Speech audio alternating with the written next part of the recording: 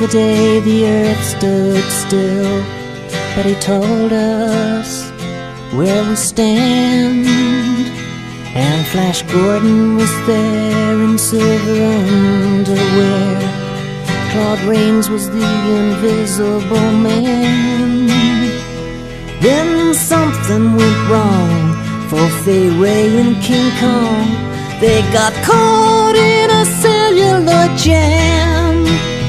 Then at a deadly pace, it came from outer space.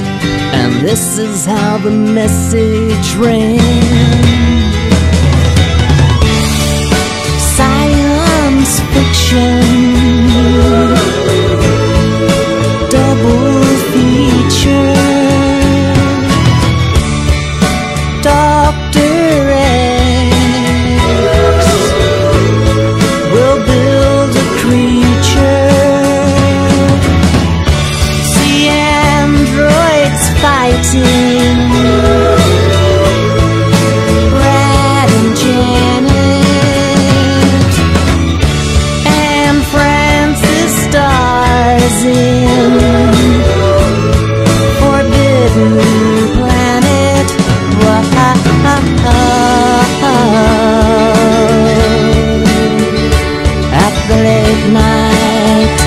Double feature picture show.